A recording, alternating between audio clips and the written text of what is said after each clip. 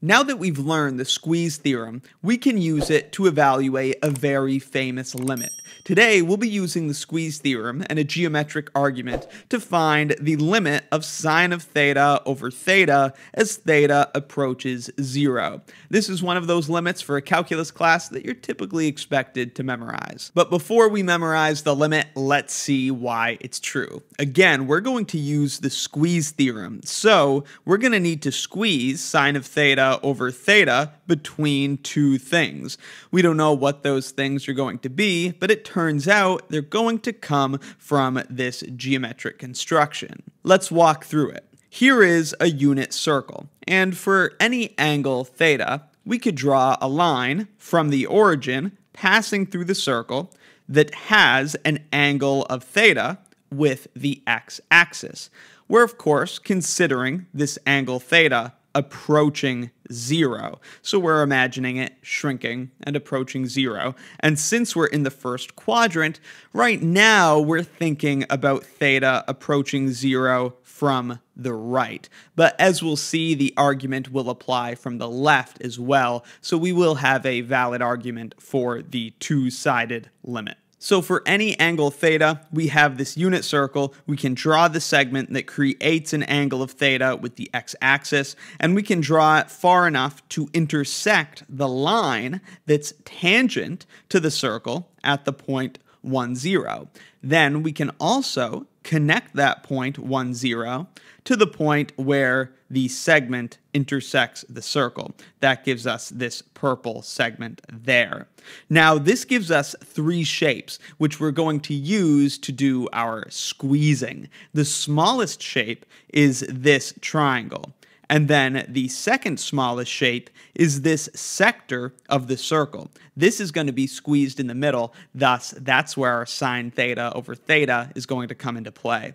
And then our biggest shape is this outer triangle that goes out to the tangent line. Here are those three shapes and their areas. I'll talk about their areas in a second, but let me just make sure you see where these shapes are coming from. There's the biggest shape, that outer triangle. Here is the middle shape, the sector of the circle. And then here is the smallest shape, which is that inner triangle. All right, now let's talk about their areas. The area of a triangle is 1 half base times height. So looking at this big triangle, its base is 1 because this is coming from a unit circle, and its height is tangent theta. Because if we take the tangent of theta here, well, that's going to be the opposite side divided by the adjacent side. The opposite side is just the height of the triangle, and the adjacent side is the radius of the unit circle, which is 1. So the tangent is just the height of the triangle. So its area is 1 half times the base of 1 times the height, which is tangent theta. This triangle over here, its area is 1 half, base of 1, because again, unit circle, and its height is sine theta, because its height is the distance from the x-axis to that opposite vertex, and of course, that distance is just the y-coordinate of the point. The y-coordinate of this point on the unit circle is sine theta. Sine theta is just the opposite side, this height that we're talking about, divided by the hypotenuse. The hypotenuse is this, which is the radius of a unit circle, which is just 1. So sine theta is the height. So 1 half sine theta is the area of that triangle. And then for the sector, the area is radius squared, which is just 1 squared, times the angle that's cutting the sector, which is theta, and then divided by 2. That's because the area of a circle is pi r squared, so the area of a sector is just whatever portion of the area the angle cuts. And the portion of the area the angle cuts can be found by taking the angle and dividing by how many radians there are total in a circle. So it's theta over 2 pi, because that's the proportion of the circle that exists in this sector, and then multiply that by the area of a circle. Of course, the pi's cancel out, and the formula turns out to be radius squared times theta over 2, and that's what you see here. All the hard work is done. Let's get into the inequality and finish the argument. Again, this construction is all in the first quadrant, so we do need to assume here that theta is greater than zero, but we'll see shortly how the argument also applies when theta is approaching zero from the negative direction. Now we know that this biggest triangle has an area of tangent theta over 2 which is certainly greater than or equal to the area of the sector, which is theta over 2, and the area of the sector is certainly greater than or equal to the area of that smaller triangle that it contains, and that area is sine theta over 2. Looking back at the figure, you can see how the big triangle contains the sector, which contains the small triangle. So that's how we get this inequality. Then we would like our function sine theta over theta to be in the middle because we're trying to use the squeeze theorem on it. So let's multiply everything by 2 to get rid of that half, and then we'll divide by sine theta. That way we'll have theta over sine theta. That's not exactly what we want, but we can just flip everything afterwards to finish it up. So multiplying everything by 2 over sine theta. On the left, that gets rid of the denominator of 2, and then we have tangent theta divided by sine theta. Tangent theta is sine theta over cosine theta, so the sine thetas cancel out, and we're just left with 1 over cosine theta. In the middle, the denominator of 2 cancels out, Theta is still in the numerator, but now we have a sine theta in the denominator.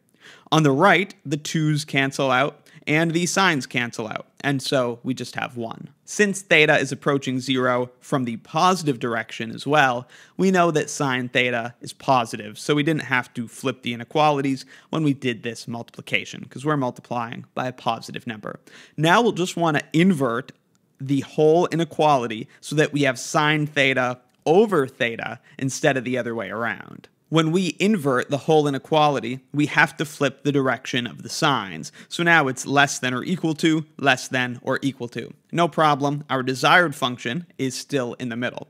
Theta over sine theta gets inverted to sine theta over theta.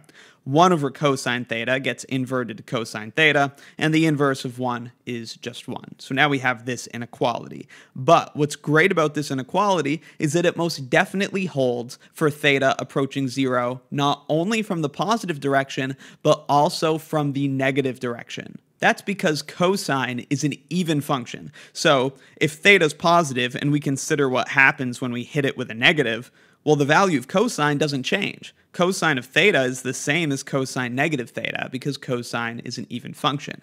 On the other hand, sine is an odd function. So theta is positive, and we might ask, what happens if we hit it with a negative? Well, sine of negative theta divided by negative theta, we're imagining that theta is approaching from the negative direction now, well, that would just be sine theta over theta, because sine of negative theta is negative sine theta. So all that happens is the negatives cancel out. Just to show you that intermediate step, this is the same as negative sine theta because sine is an odd function divided by negative theta. The negatives would cancel out, and it's still just sine theta over theta. So even if theta were approaching from the negative direction, approaching zero from the left, this inequality would still hold. The values would all be exactly the same. So, as we just argued, this inequality holds for all non-zero theta from negative pi over 2 to pi over 2. So we're sticking in the first quadrant and the fourth quadrant. The other quadrants aren't relevant because we're approaching zero. So certainly this area is not meaningful. But clearly this inequality is valid no matter how we approach zero. So we can now apply the squeeze theorem. The limit of cosine theta, this lower bound, as theta approaches 0 is 1. You can just plug 0 in. Cosine of 0 is 1. And of course, the limit of 1 as theta approaches 0, this upper bound, is also 1. Thus, sine theta over theta is getting squeezed between 1 and 1. By the squeeze theorem, the limit of sine theta over theta as theta approaches 0 must equal 1. There is one more look at the details of the argument if you wanted to revisit any of them. I hope you found that a clear explanation. Let me know in the comments if you have any questions. With this newly discovered limit, we can actually prove another trig limit. We can prove that the limit of 1 minus cosine x over x as x approaches 0 is zero. And I'll let you give it a try yourself. We'll do the proof next time. Thanks for watching persistence Couldn't even open myself up for an instant. What's the law? It's regular I regulate my integrity. I'm a secular anesthetic from my own effigy. I didn't try just to be